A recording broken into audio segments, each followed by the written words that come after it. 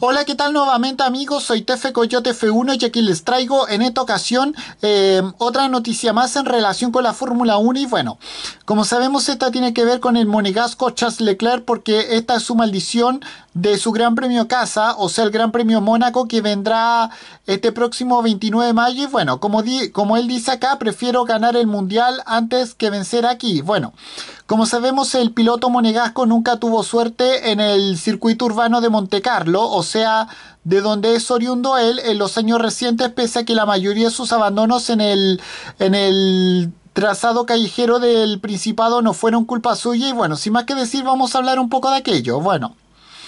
Como sabemos, la maldición de Charles Leclerc en el Gran Premio Mónaco se extiende desde la temporada 2017 hasta hoy en día. En la Fórmula 2, una rotura de suspensión lo obligó a abandonar luego de lograr la pole position.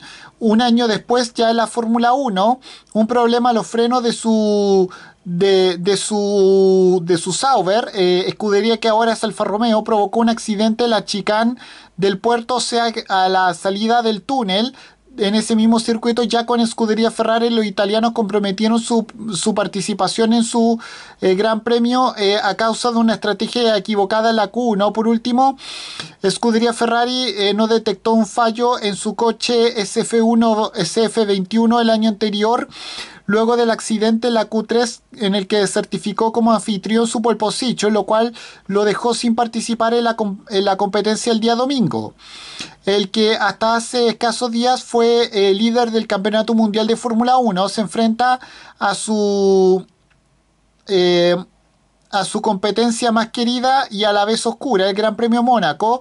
Una semana, hace, una unas semanas antes fue invitado, eh, eh, fue invitado a manejar eh, un, coche, eh, un coche de Fórmula 1 clásico de, escudería Ferrari en Niki en el reciente Gran Premio histórico con la mala pata de sufrir una rotura en su disco de freno y, y estampar esta reliquia ferrarista. Bueno, Leclerc es consciente de su historial negro en Mónaco, aunque no es supersticioso y bueno, esto es lo que deseó el piloto de 24 años de edad en una entrevista al medio La Gacette de Mónaco.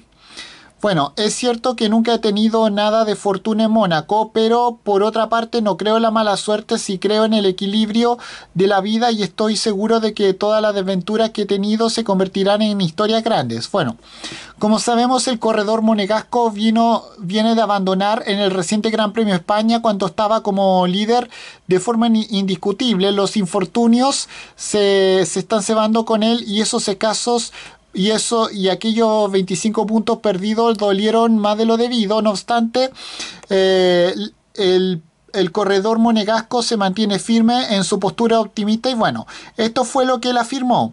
Espero que las cosas cambien este año porque cada punto cuenta. Cuando me retire el domingo, cuando me retiré el domingo me dije a mí mismo que estas cosas suceden en, en, el automovilismo. Dentro del coche no piense en ello y esto no debería cambiar mi enfoque. Bueno, como sabemos, los promotores de este, de este Gran Premio confirmaron recientemente que la, eh, que la continuidad del, del, legendario Gran Premio Mónaco en el calendario de la Fórmula 1 está garantizada pese a las críticas acerca del clásico circuito de Monte Carlo que se está quedando anticuado. Bueno, Charles, eh, que nació, se crió y sigue y continúa viviendo en el Principado, no aceptaría la marcha de la Fórmula 1 y bueno, esto fue lo que dijo el piloto local.